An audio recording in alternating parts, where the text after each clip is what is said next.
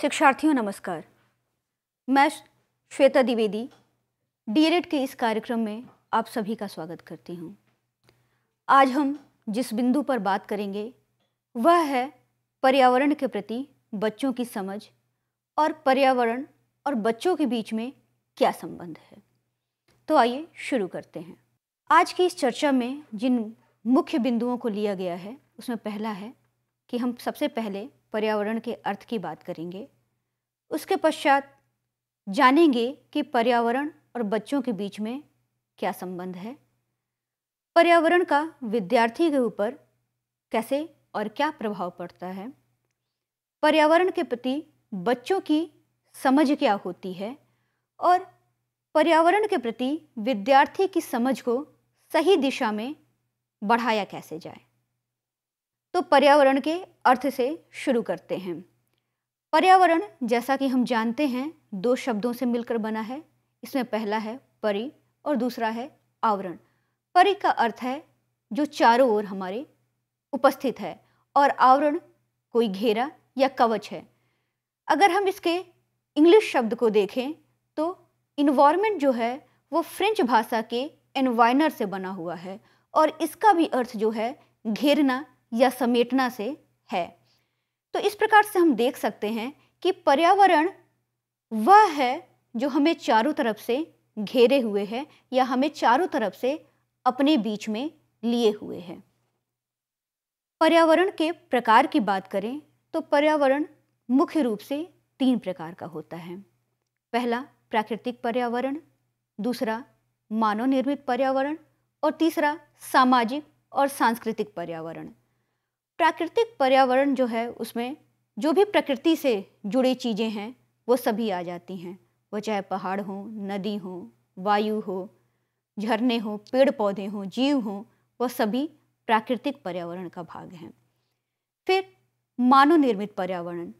और यहाँ पर मानव निर्मित पर्यावरण से आशय भौतिक पर्यावरण से है यानी कि मनुष्य द्वारा बनाई गई वो सारी चीज़ें जिसे हम स्थूल रूप में देखते हैं वह चाहे बिल्डिंग हो वह चाहे बांध हो वह चाहे टेबल कुर्सी जो सारी भी चीज़ें हों जो मानव द्वारा निर्मित है मानव निर्मित पर्यावरण में आती हैं और सामाजिक और सांस्कृतिक जो पर्यावरण है वह भी मानव निर्मित है पर यह अदृश्य है यह भौतिक से ठीक विपरीत अदृश्य है और इसमें हमारी आस्थाएं, हमारे विश्वास हमारी परंपराएं, हमारी सांस्कृतिक जो हमारे विचार हैं ये सभी जो हैं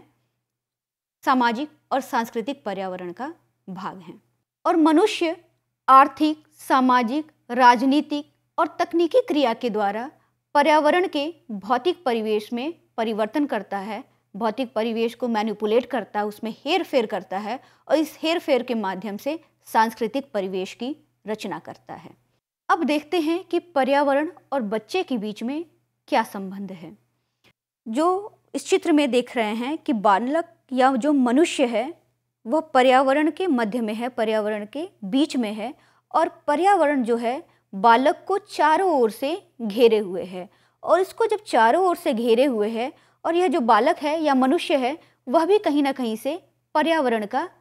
भाग है तो हम जिस चीज़ के भाग हैं जो चीज़ हमारे चारों ओर है हम उस चीज़ को जानते हैं हम उस चीज़ को समझते हैं अब हम देखते हैं कि पर्यावरण का विद्यार्थी के ऊपर किस प्रकार से प्रभाव पड़ता है तो बाल्यावस्था व्यक्ति के विकास की सबसे जटिल अवस्थाओं में से एक है इस अवस्था में शारीरिक मानसिक सामाजिक संवेगात्मक और भाषा संबंधी योग्यताओं का विकास होता है यह सभी जो है शारीरिक विकास मानसिक विकास सामाजिक विकास भाषा संबंधी विकास यह सब कहीं ना कहीं से हमारे पर्यावरण पर निर्भर करते हैं जैसा हमारा पर्यावरण होता है उसी के हिसाब से हमारा शारीरिक विकास होता है वह कहीं ना कहीं से हमारा सामाजिक संवेगात्मक विकास जो है उसी हिसाब से होता है हमारे पर्यावरण का हमारे वातावरण का जहाँ हम रहते हैं उसका प्रभाव हमारे भाषा संबंधी विकास पर भी पड़ता है तो बाल्यावस्था के अंतर्गत ये सभी विकास होते हैं यानी कि बच्चे के ऊपर पर्यावरण का स्पष्ट प्रभाव पड़ता है अगर हम मनोविज्ञान में व्यवहारवाद को देखें तो व्यवहारवाद व्यक्ति के विकास पर या यूँ कहें तो बालक के विकास पर मुख्य रूप से वातावरण के प्रभाव को ही महत्व देते हैं वह मानते हैं कि बच्चे पर सबसे अधिक वातावरण का प्रभाव पड़ता है और वह बच्चे की आनुवंशिकता के प्रभाव को महत्वहीन करार देते हैं मात्र व्यवहारवादी ही नहीं बल्कि अगर हम देखें संज्ञानवादी जिसमें कि हम पियाजे को देखें ब्रूनर को देखें तो वह भी कहीं ना कहीं से व्यक्ति के या बालक के विकास पर पर्यावरण के या वातावरण के प्रभाव को मानते हैं अगर हम सामाजिक संज्ञानवादियों को देखें वह भी बालक के विकास पर पर्यावरण के प्रभाव को मानते हैं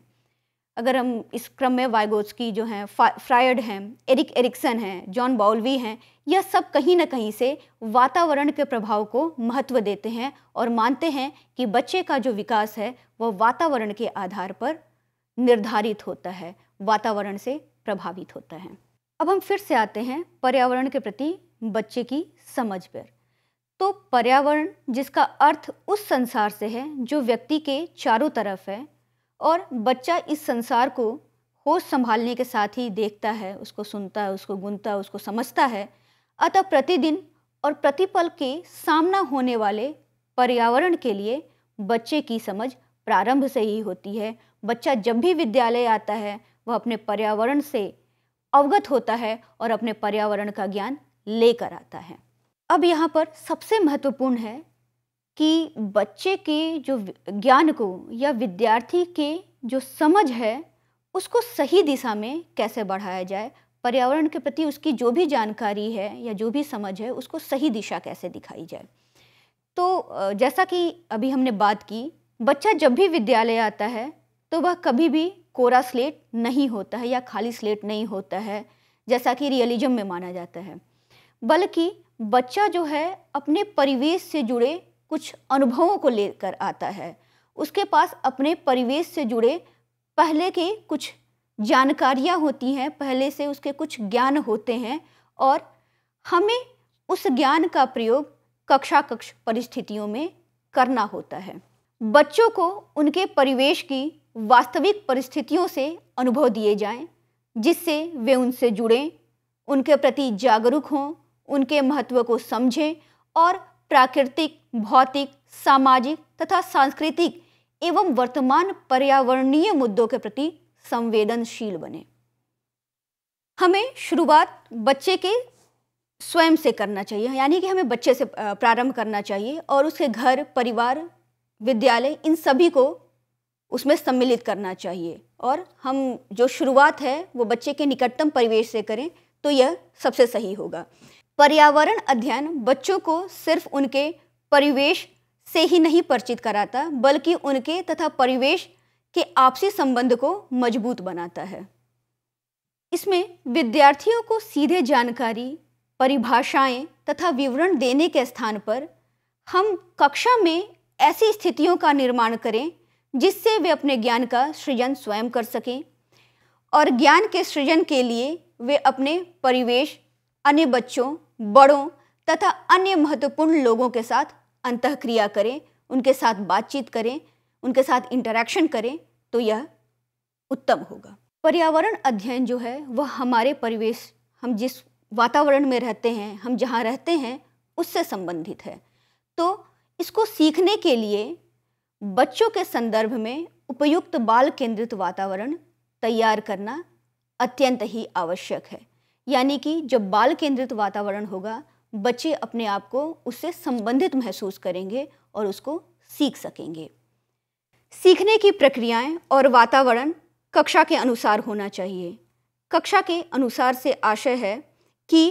बच्चा किस कक्षा का विद्यार्थी है या बच्चे की आयु क्या है तो हम उसकी आयु के हिसाब से जो सीखने की प्रक्रियाएं हैं और जो कक्षा का वातावरण है उसके हिसाब से रखें पर्यावरण अध्ययन विभिन्न सामाजिक मुद्दों और प्राकृतिक सरोकारों से वास्तविक जगत में सामना कर सकने के लिए पृष्ठभूमि तैयार करता है अतः आवश्यक है कि इस हेतु विद्यार्थी को कक्षा में ऐसे अनुभवों को प्रदान करें कि विद्यार्थी इन चुनौतियों का सामना करने के लिए तैयार हो सके जब भी हम सीखने की स्थितियों का आयोजन करें तो इन स्थितियों में विभिन्न तरीकों कार्यनीतियों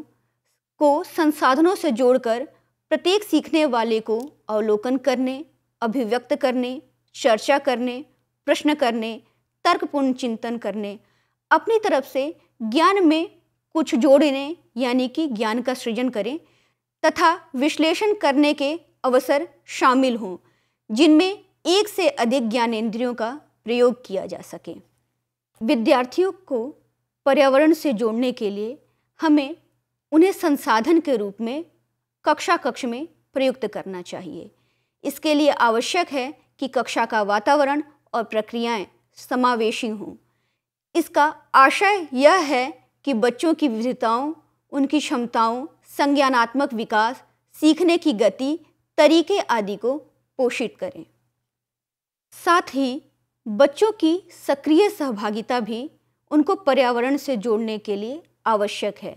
और बच्चों की सक्रिय सहभागिता सुनिश्चित करने के लिए यह आवश्यक है कि विद्यार्थी के उनके अपने अनुभवों को प्राथमिकता देते हुए उन्हें विद्यालयी ज्ञान से जोड़ा जाए विद्यालय किस क्षेत्र में है इसके आधार पर विद्यार्थियों को पर्यावरण से जोड़ने के लिए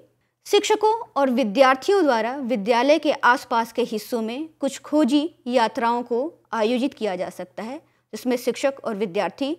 दोनों ही बढ़ चढ़ के उनको भाग लेना चाहिए और वह अपने आसपास के हिस्सों में आसपास के वातावरण जो भी विद्यालय का उसमें वह खोजने के लिए जाएं वह देखने के लिए जाएं कि प्राकृतिक पर्यावरण या मानव निर्मित पर्यावरण या जो सामाजिक सांस्कृतिक पर्यावरण है वह किस प्रकार का है और उसे देखें इससे बच्चे अपने आप को उससे संबंधित महसूस करेंगे पर्यावरण से अपने आप को संबंधित महसूस करेंगे और उसको अपना हिस्सा समझेंगे और साथ ही पर्यावरण का हिस्सा बनेंगे तो शिक्षार्थियों आज के इस चर्चा के जो मुख्य बिंदु रहे हैं वह उसमें हमने पर्यावरण के अर्थ को देखा है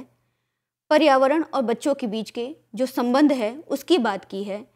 पर्यावरण जो है विद्यार्थी को किस प्रकार से प्रभावित करता है इस पर बात की है पर्यावरण के प्रति बच्चों की समझ कैसी होती है कितनी समझ रखते हैं इसकी हमने बात की और साथ ही कक्षा कक्ष की परिस्थितियों में विद्यार्थी की समझ को हम सही दिशा में कैसे बढ़ा सकते हैं यानी कि इसमें हमने बात की कि विद्यार्थी के जो अपना जो वातावरण है उनका जो अपना परिवेश है उसके ज्ञान को हम कक्षा में प्रयोग करें साथ ही हम विद्यार्थी को उनके परिवेश की वास्तविक जो परिस्थितियां हैं उनसे जुड़े अनुभव दें तो शिक्षार्थी जो हैं पर्यावरण से ज़्यादा जुड़ेंगे आज के लिए इतना ही हम फिर से एक नई चर्चा में मिलेंगे तब तक के लिए नमस्कार